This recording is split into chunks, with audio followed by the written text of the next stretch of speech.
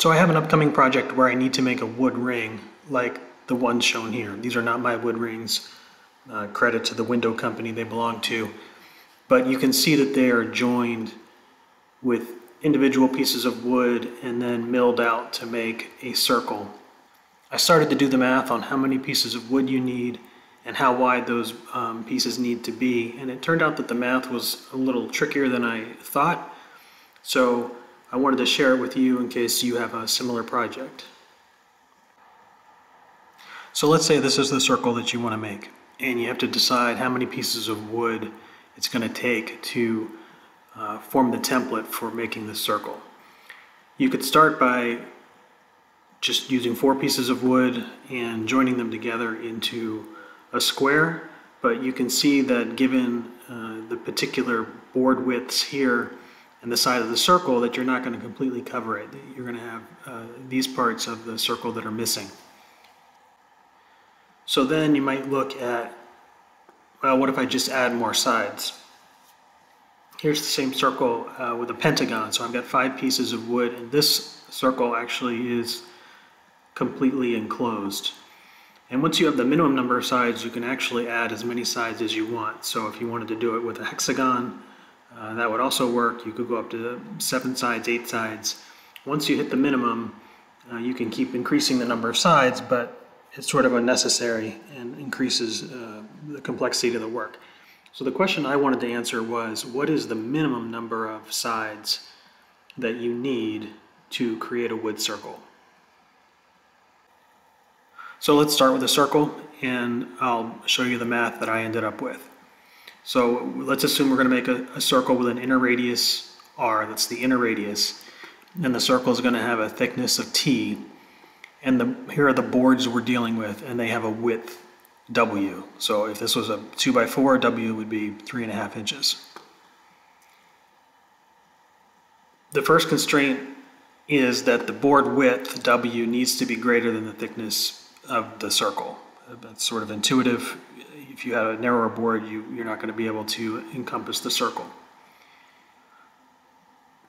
Given that board width and given the radius and the thickness of the circle, the first thing you do is calculate the number of sides of the polygon that you're going to create, whether it's a pentagon or a hexagon or whatever.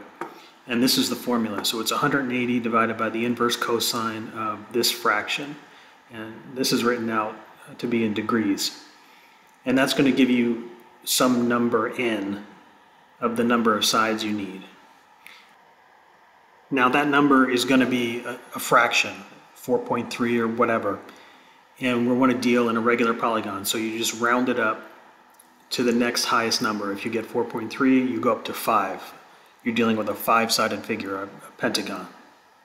Okay, so let's assume that those calculations lead to a pentagon being the shape that we need.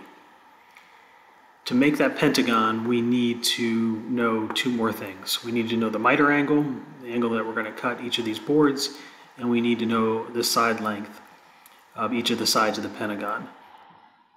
So figuring out the miter angle is straightforward. It's just 180 divided by the number of sides. Figuring out the ideal side length is a little trickier. As you make the side a little bit smaller, you push this outer edge of the circle towards the edge of the board.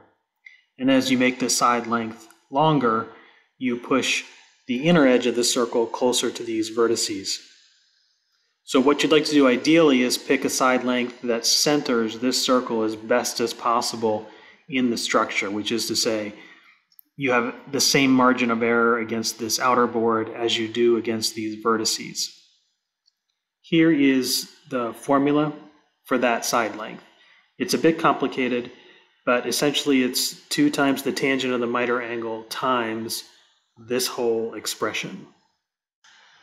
And again, that will be the side length that best positions the circle within the polygon that you've built. So just to recap, first you calculate the number of sides that you're going to need according to this formula. It's going to be some decimal, and you're going to round that up to the next highest whole number. At that point, you can calculate the miter angle just by dividing 180 by the number of sides. And then finally, you need the side length, which is given again by this formula. So one of the big design choices you have when building these structures is what width board to use. And the wider the board that you use, the fewer sides that you're going to need, but the more wood you're going to waste. So I thought it would be useful to set out the calculations for determining the amount of material that you're using when you make the ring. So to do that, we need the area of the polygon, which is given by this formula. It's the width of the board times uh, this expression, the side length minus the width of the board times the tangent of the miter angle. That is the area of each one of these trapezoids. And then we have n number of those trapezoids. And we want to compare that to the area of the ring, which is given by uh, pi r squared of the outer uh, edge minus pi r squared of the inner edge. And if we take the ratio of those two numbers, we'll get a percentage indicating uh, how much of the material we've actually used.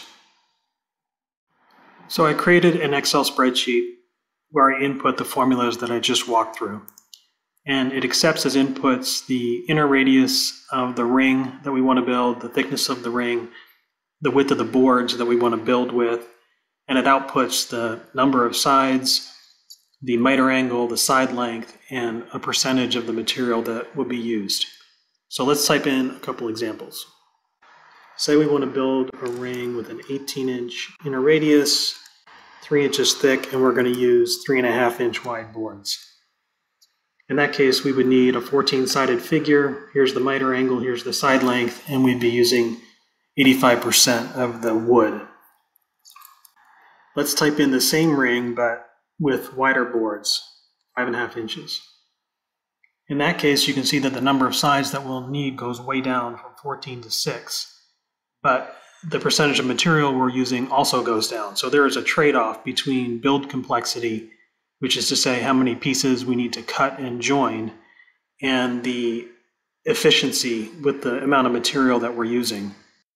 If we wanted to try to get that efficiency really high, then we can use a board width that's very close to the thickness of the ring that we're trying to build. So if I did a 5 inch thick ring and use 5.1 inch boards, we would have to do a ton of sides, 36, but we're using 98% of the material. So let's enter one that I can uh, build in my garage as a test. Say a 6 inch inner radius with a 2.5 inch thickness. And I, am going to use 2 by 4s which are 3.5 inches wide. So I'm going to need to build a hexagon, and my side lengths are going to have to be just shy of 10 inches. And my efficiency is going to be uh, not so great. About two thirds of the wood will be used. So let's go build that. So here I have my hexagon, six-sided figure, 30 degree miters. I glued it up, let it dry. According to our table, we needed the sides to be just under 10 inches, and that's what they are. We're building a 6 inch radius, that is 12 inch diameter circle. So we need the longest point inside this hexagon, which is from vertex to vertex to be less than 12 inches, which it is at just over 11 and 3 quarters inches.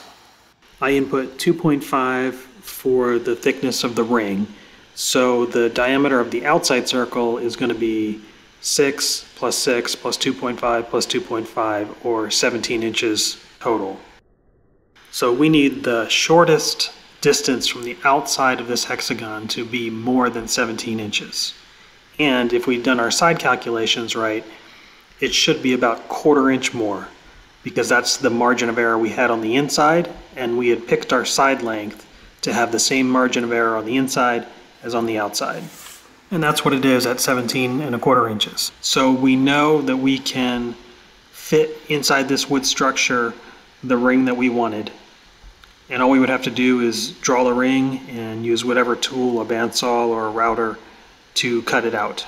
I'm not gonna do that because I don't need a ring of this size, but for my next project, I need a larger ring, so I'll show you in that project.